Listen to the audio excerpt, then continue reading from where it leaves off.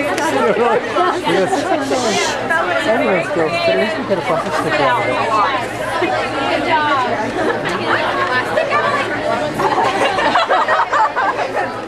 Stop it, the suspense is killing us.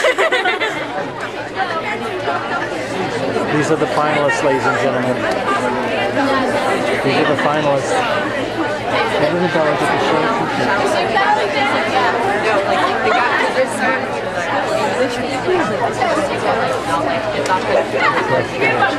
Pressure, it's written on their faces. Huh? They're all thinking about their own mortality, even though they're vampires. It's very disturbing. Very disturbing.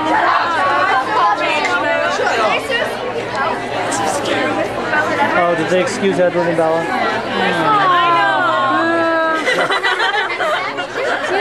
Okay, we're going. I thought he would be like cheap. But this is about vampires.